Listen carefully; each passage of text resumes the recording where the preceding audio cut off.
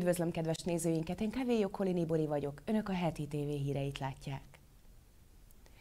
A munkából élő költségvetése a 2018-as büdzsé, amely támogatja a munka alapú társadalom megteremtését, a gyermeket vállaló családokat és az ország biztonságát, mondta Kósa Lajos, a Fidesz frakció vezetője.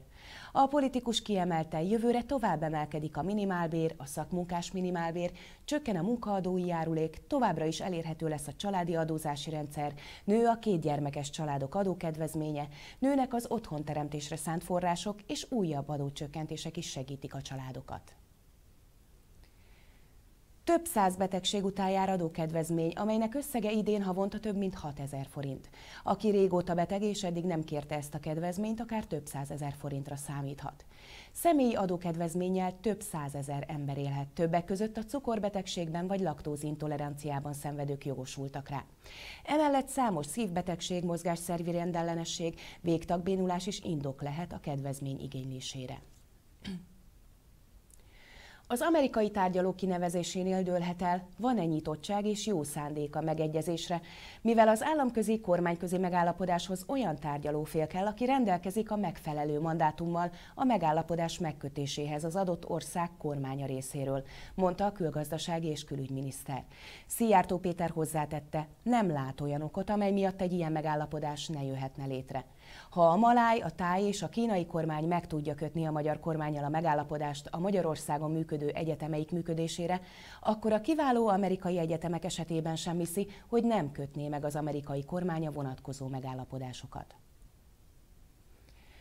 A medián felmérése szerint az elmúlt három hónap eseményei jócskán megtépázták a kormánypárt és az államfő népszerűségét. Januárban még 37%, míg április végén már csak 31% volt a Fidesz-KDNP támogatottsága a teljes népesség körében, tehát közel félmillióval kevesebben szavaznának a kormánypártokra. A legtöbb ex-Fideszes a Jobbikhoz igazolt, amelyre a választópolgárok 20%-a szavazna, ez 6% pontos emelkedés a januári adatokhoz képest. A többi ellenzéki pártot a felnőtt népesség 24%-a támogatja, ami 4% pontos növekedés. Közülük az MSZP a legerősebb 9%-kal, az új szereplő, a Momentum pedig 2%-on áll. A kétfarkú kutyapártnak a momához, a párbeszédhez és az együtthöz hasonlóan 1%-os a támogatottsága. Áder János népszerűsége 11% pontot zuhant a CEU törvény aláírása után, Orbán Viktor pedig 9% pontot esett vissza. Vona Gábor és Hatházi Ákos népszerűsége közben nőtt a választók körében. Botka László az abszolút nyertes, akit immár az ország 91%-a ismer, a korábbi 78%-hoz képest. A népszerűsége változatlan, vonával és kósalajossal holt versenyben 34%-on áll. Most pedig külföld. Izrael visszatart 1 millió dollárt az ENSZ-nek szánt támogatásból tiltakozásul az ENSZ nevelésügyi, tudományos és kulturális szervezetének, azaz az UNESCO határozata miatt. Benjamin Netanyahu miniszterelnök a kormányülésének kezdetén bejelentette, hogy a bizarr előző napi döntés nyomán elrendelte az ENSZ-nek átutalt pénzek 1 millió dolláros csökkentését. Az aklatásnak ára van, közölte a kormányfő. Az UNESCO kedden megszavazott döntése vitatta az izraeli szuverenitást Jeruzsálem felett, és kemény bírálatot fogalmazott meg több Jeruzsálemben és Hebronban folyó építkezés, valamint a gázai övezet tengeri blokádja miatt. Az indítvány mellé állt az arab és muzulmán országok mellett Oroszország, Kína, Brazília, Nigéria és Vietnám is. A brit felsőház nemzetközi ügyekért felelős bizottsága arra hívta föl Boris Johnson brit külügyminiszter figyelmét, hogy érdemes lenne foglalkoznia a palesztin állam elismerésével a közel-keleti béke folyamat felgyorsítása érdekében, írta az Izrael Hájom. A lapcikke szerint az illetékes bizottság szerint egy ilyen lépés nagyban segítené a nemzetközi közösséget abban, hogy a két állami megoldás felé mozduljon el. A bizottság a jelentésében arról is írt, hogy Donald Trump amerikai elnök egyelőre nem ebbe az irányba halad, ami nem segíti a térségben a békés rendezést. Egy új alaptörvényről tartana jövőre népszavazást Andrzej Duda, a lengyel államfő a 226 éve elfogadott első lengyel alkotmány évfordulója alkalmából tartott állami megemlékezésen beszélt erről Varsóban, azt hangsúlyozva, hogy a lengyeleknek joguk van véleményt nyilvánítani a 20 éve érvényben, lévő jelenlegi alkotmányról. Idézem, Szeretném, hogy jövőre Lengyelország függetlenségének századik évfordulójának évében népszavazást tartsunk a lengyel alkotmányról, mondta Duda, komoly vitát szorgalmazva az alaptörvény tervezetéről. Egy öngyilkos merénylő nagy erejű robbantást hajtott végre Kabul központjában. A szövetséges erők egyik gépkocsi oszlopának közelében többen meghaltak. Najib Danis, az afgán belügyminisztérium szóvivője elmondta, hogy a merénylet célpontja a külföldi erők egyik konvoja volt. Wahid Mujro, az egészségügyi minisztérium képviselője arról számolt be, hogy négy holttestet szállítottak kórházba, 22 ember pedig megsebesült a támadásban. Javaslatot tett az Európai Bizottság az Egyesült Királyság uniós kiválásáról szóló tárgyalások megindítására, és egyúttal közzétette az egyeztetésekre vonatkozó irányelveit. Néhányan azt az illúziót keltették, hogy a Brexit nem lesz jelentős hatással az életünkre, a tárgyalásokat pedig gyorsan le tudjuk zárni. De, ez, de nem ez a helyzet, jelentette ki az Európai Bizottság főtárgyalója. Szilárd megoldásokra és jogi pontosságra van szükség, és ez időbe telik, tette hozzá. Az amerikai zsidó hagyományok előtt tiszteleg az USA. A Fehérház szerint ebben a hónapban nemzetünk jelentős zsidó örökségét ünnepeljük, ami a zsidóság erős hitében és hagyományaiban gyökerezik. Felidézik, hogy először 1654-ben vándoroltak a kontinensre zsidók Hollandiából, hogy menedéket keressenek a vallási üldöztetés elől. A zsidóság kitörölhetetlen nyomot hagyott az amerikai kultúrában, hangsúlyozza a Fehérház. A függetlenség napi ünnepségek záróakkordjaként kedden este átadták a legmagasabb izraeli elismerést, az Izrael díjat. Az eseményre a Jeruzsálemi Kultúrpalotában került sor Raiva Rivlin államelnök és Benjamin Netanyahu miniszterelnök jelenlétében.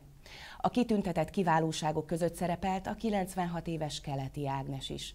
A Magyarország színeiben versenyző tornásznő összesen 10 olimpiai érmet szerzett, ezzel a sporttörténet legnagyobbjai között található.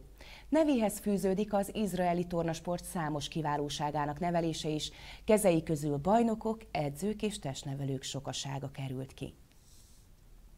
És most gazdaság. A magyar gazdaság 4% felett fog nőni a következő években, ami egyben azt is jelenti, hogy a hazai GDP bővülése érdemben magasabb lesz az Európai Unió átlagos növekedési üteménél. Szerepel Magyarország 2017-2021-re vonatkozó konvergencia programjában. A következő négy évben várható makrogazdasági folyamatokat átfogó módon bemutató dokumentumot a kormány kedden küldte el az Európai Bizottságnak. A korábbi évek gyakorlatához hasonlóan a program kidolgozása párhuzamosan zajlott a költségvetési tervezéssel, írta a világgazdaság. Annyian nincsenek még, mint az oroszok, de már majdnem dobogósok a gyógyszállók legfőbb küldőpiaci rangsorában a cseh és a szlovák vendégek. A szomszédos országokból átutazók nagyon fontosak, bár egyelőre nem töltenek itt annyi időt, mint amennyit a távolról repülővel érkezők, írta a világgazdaság. A lap szerint hosszú távon bíztatónak ígérkező tendencia körvonalazódik a magyarországi gyógyhotelekben, ahol évről évre nagyobb számban jelennek meg a wellness csomagokból és a különböző összetételű kezelésekből néhány napos ízelítőt vásárló szomszédos országbeliek. Végül sport. A magyar labdarúgó válogatott a franciák felett aratott 3-2-es győzelemmel kezdte szereplését a Horvátországban zajló U17-es Európa-bajnokságon. A négy csoportból az első kettő jut a negyed döntőbe, onnantól egyenes kieséses rendszerben folytatódik a torna. Az EB öt legjobbja részt vett októberben az U17-es világbajnokságon. Most az időjárás jelentés következik. Híreinkről bővebben a hetitv.com, illetve a brayerpress.com internetes oldalainkon olvashatnak. Én köszönöm szíves figyelmüket, viszontlátásra!